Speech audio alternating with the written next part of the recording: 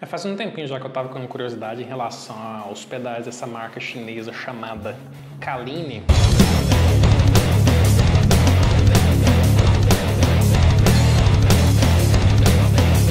Recentemente alguns amigos compraram esses pedais aqui e eu né, dei uma surrupiada por alguns dias para poder testar.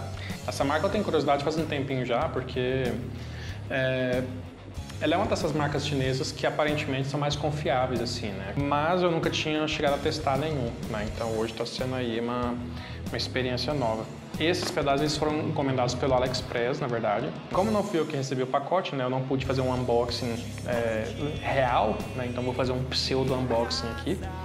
Mas assim, ao julgar pelo bom estado das caixas, eu imagino que o envio deve ter sido tranquilo. Muito bem, aí o que nós temos aqui é esse pedalzinho aqui, que é o pedal que eu vou fazer o review hoje, que é o Kaline é, Wine Cellar, que é um, é um preamp de baixo em formato de pedal e que tem uma saída balanceada e a gente pode usar ele como direct box também. Né? E aí a gente tem esse outro pedal aqui, que é o Devilfish, que é um delay e chorus no mesmo pedal. Né? Então eu vou só abrir as caixinhas aqui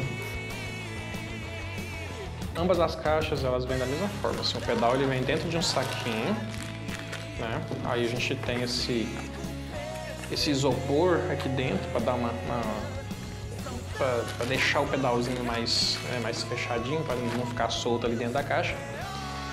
E aí ele vem com os pezinhos também, né? A gente tem os locais aqui de se encaixar os pezinhos, né? Então já vem o adesivinho aqui, é só encaixar. Eu não vou fazer isso, né? Depois os donos que façam.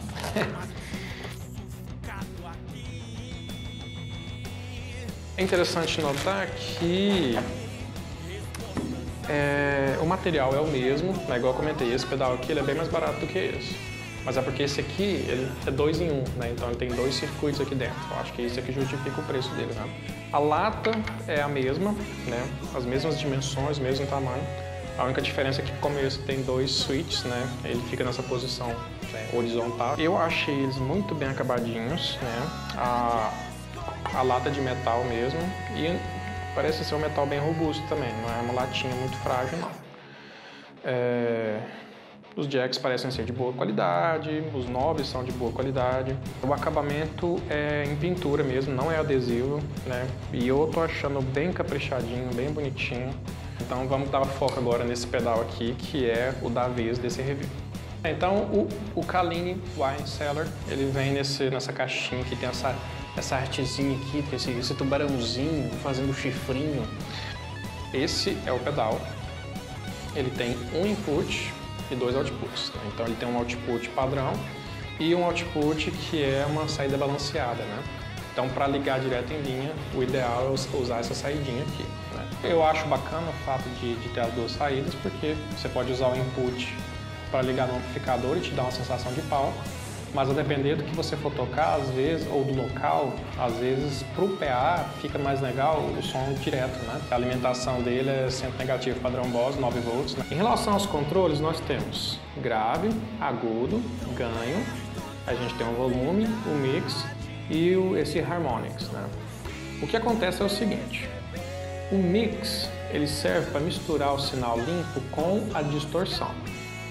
Então, quando ele está aqui no mínimo, você vai ter só o som cru desse pedal. O som cru desse pedal são só esses três potenciômetros aqui. Só volume, grave e agudo. Né? Aí você coloca o, o, mix aqui no zero, você zera o ganho e o harmonics. Ganho e harmonics só funciona para a distorção. Né? Então, assim, o ganho é a quantidade de distorção que você coloca e o harmonics ele é meio que uma é uma equalização adicional que é específica da, da distorção, né?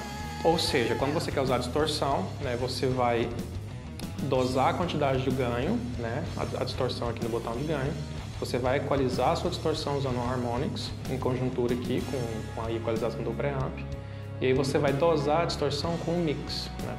Então o mix no máximo ele vai te dar a maior quantidade de, de distorção que esse pedal pode te, dar, te entregar, porque ele não vai estar misturando o sinal, vai estar, vai estar te entregando um sinal totalmente distorcido.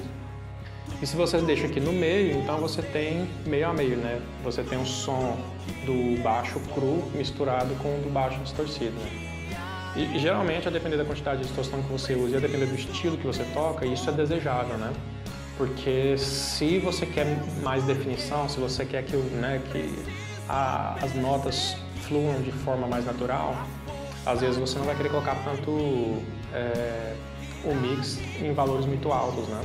Porque você consegue definir as dedadas e paletadas, né? Você consegue definir cada nota que você está tocando. Mas às vezes o que você quer é pé na porta mesmo, né? agressividade, a sujeira, aí você atocha, ganha e enfia o mix no máximo ali que você tá tranquilo. Mas claro, isso não é regra, né? Porque como você consegue dosar bastante o ganho, você pode colocar o mix no máximo, colocar pouco ganho, que acaba dando esse pedal umas, umas possibilidades de timbre um pouco maiores, né? Grave e agudo, né? Eu acho que eu não preciso explicar, né? Aqui não tem controle de médios, né, mas eu acho que a equalização desse pedal já foi desenhada para isso, né, a quantidade de médios que tem aqui, é, eu imagino que, que seja é, pré-setada para casar com né, a maioria de timbres de baixo.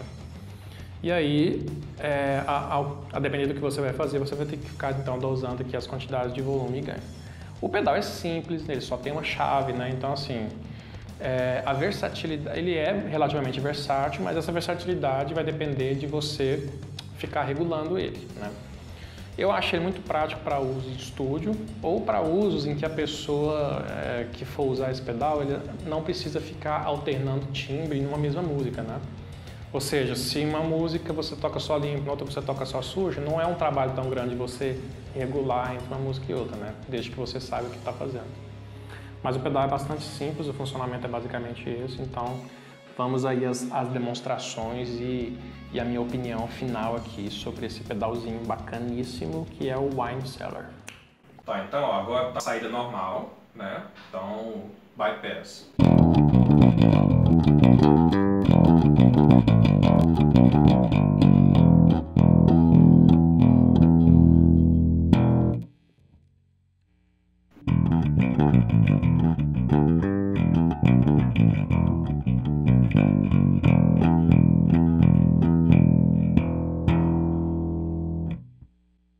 Saída balanceada, começo tanto de volume na interface.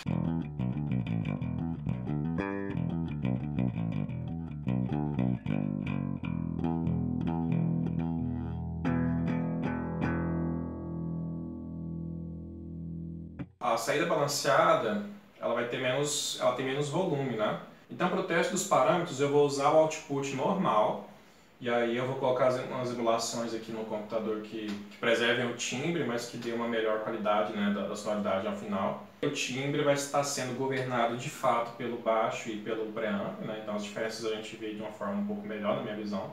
Então vamos lá, eu vou voltar para o output normal, a gente testa os parâmetros e depois eu faço algumas variações só para a gente comparar. Ó, zerei o mix. Como eu comentei, com o mix no zero, a parte da seção de distorção não funciona. Então, ó.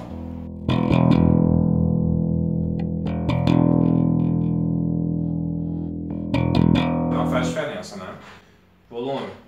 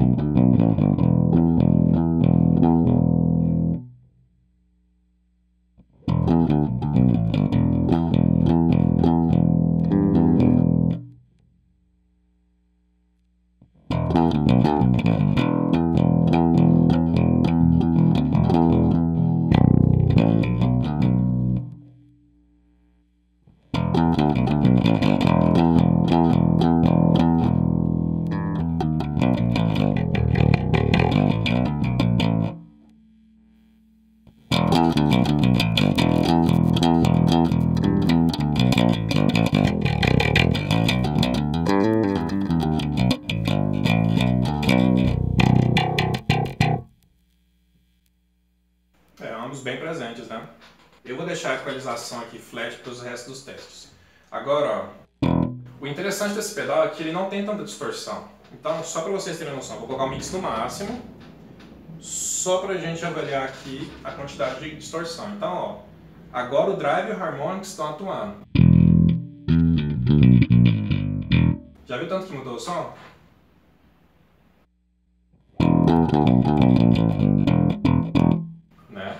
Por isso que eu acho que é importante assim, né? Tem que, tem que fuçar para achar os meios termos entre melhor, as melhores equalizações para distorção e para o som limpo.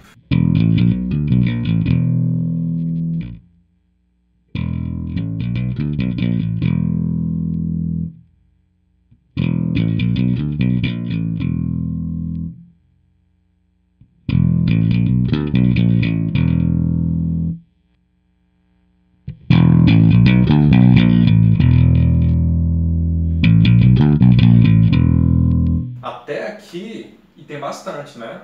Três horas ali. Ainda não tá.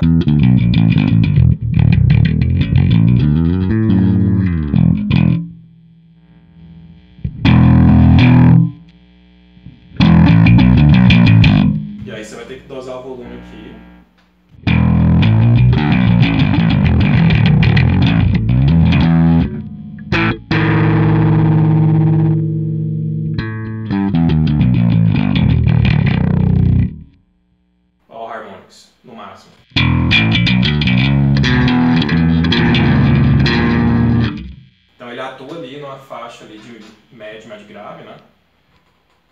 Inclusive, ó, eu vou deixar no máximo porque é um ponto... Ó, olha que interessante, eu vou deixar o harmonics aqui no meio. Tem um ponto, tem um pontinho aqui que a distorção, ela de fato dá um, dá um kick, né? Até esse ponto, ele fica ali no limiar da clipagem, né? Fica uma saturaçãozinha assim, né? Fica querendo distorcer. Partir daqui...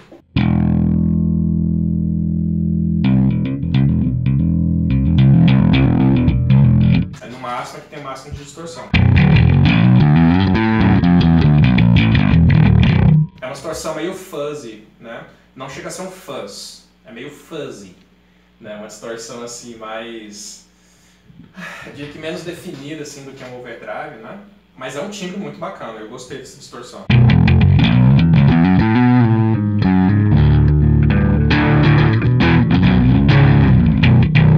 E é com a distorção no máximo que a gente consegue perceber melhor harmônicos. Então saca só, no mínimo.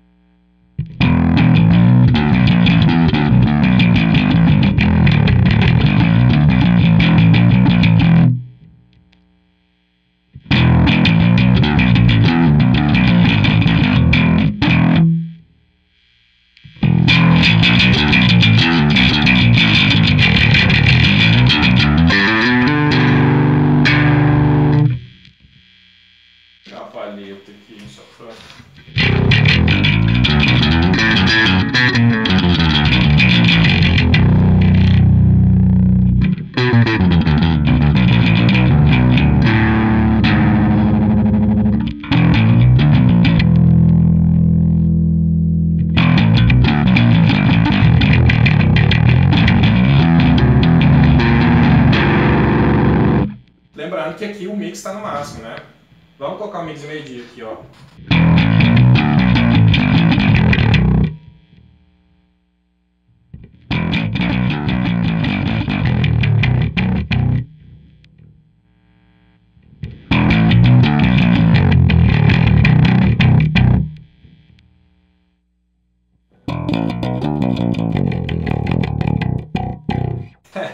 É interessante assim. Então, é, o importante desse pedal é que ao lidar com mix, a gente vai lidar com algumas nuances de volume, né? Especialmente se a gente estiver usando bastante distorção. Então tenha isso em mente. E a equalização também, ela muda bastante quando a gente mistura com o drive, né? Que quando entra distorção, essa equalização que a seção de distorção coloca junto, ela altera um pouco essa, essa equalização inicial que a gente fez aqui, né? Então vejam só. Agudo, né?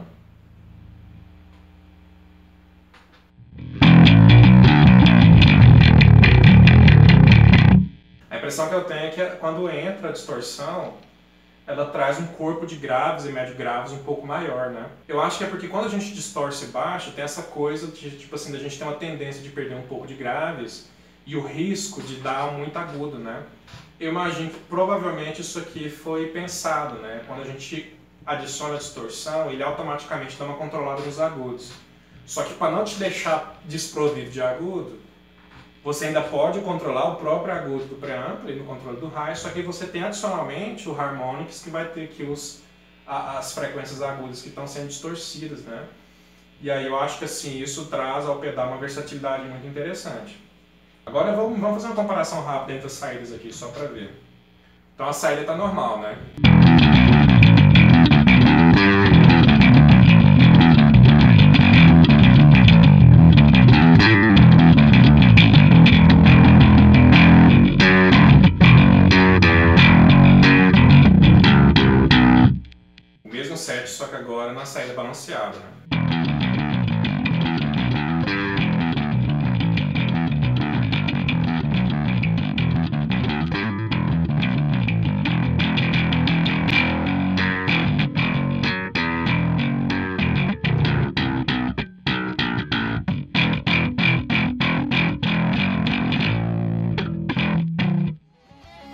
Encerrar por aqui, porque se eu ficar fuçando demais o pedal, acho que esse vídeo não vai, não vai acabar, né? então assim, é, vamos deixar a coisa mais simplificada, só para dar um gostinho do que, que é esse pedal. Eu achei ele muito bacana, eu acho o custo-benefício sensacional, porque ele é bem barato. Entrega muito, porque a, a equalização dele é legal, o timbre dele limpo é bacana, a distorção dele é legal. A distorção dele não é tão versátil, igual eu falei, assim, vai casar com algumas coisas e talvez com outras nem tanto. Mas enquanto um preamp, né, a, a sonoridade dele eu achei ela bem é, bonita, porque ela preserva bem o timbre do baixo, então assim, ela não mascara o timbre do seu baixo e, e ainda provém né, uma, uma possibilidade de você enriquecer o seu som. Eu recomendo bastante esse pedal. Né? Vamos ver aqui se o dono fala para nós que ele se ele aguenta com o tempo, né? Porque eu acho que uma grande preocupação que a gente tem com pedais mais baratos é o fato de talvez eles não serem tão resistentes, queimar fácil, esse tipo de coisa, né? Eu não ouço esse tipo de relato de usuários de calinho, né? Então eu imagino que esse pedal de fato não é porrada. Mas é isso, né? Se você gostou desse vídeo, deixa um like, se não gostou, deixa um dislike. Se tiver alguma dúvida, quiser fazer algum comentário, deixa aí na seção de comentários, vamos trocar as ideias. É, se você curte esse tipo de conteúdo, considere se inscrever nesse canal e até uma próxima.